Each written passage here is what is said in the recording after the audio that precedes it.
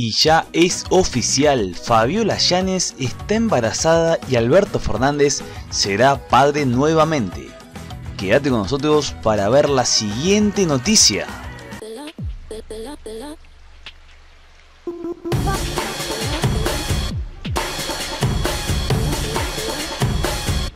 El gobierno nacional confirmó este jueves que la primera dama, Fabiola Llanes, está cursando un embarazo, por lo que ella y el presidente Alberto Fernández se convertirán en padres el próximo año.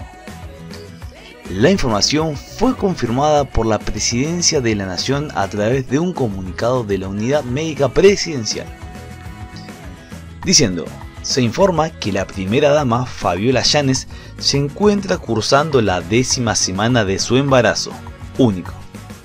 Dice el comunicado.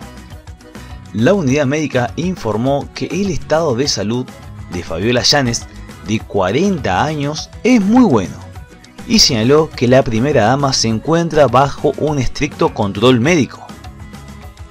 También, desde la unidad médica presidencial se brindará ante la opinión pública la información sobre la evolución del embarazo con el fin de comunicar con precisión, se señaló oficialmente. Los rumores sobre el embarazo de la primera dama circulaban desde hace algunas semanas, poco después de que a mediados de agosto estallara un escándalo político tras la filtración de las fotos de la celebración del cumpleaños de Yáñez en la residencia presidencial durante lo más duro de las restricciones sanitarias del año pasado.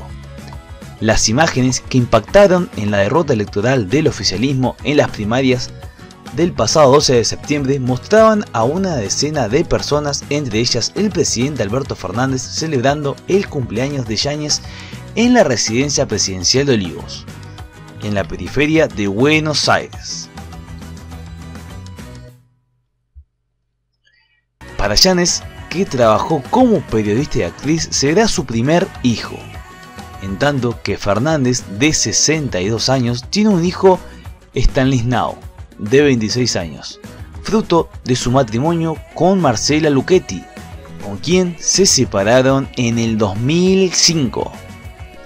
Sin dudas que tanto para Fabiola Llanes como para el presidente Alberto Fernández es una gran bendición.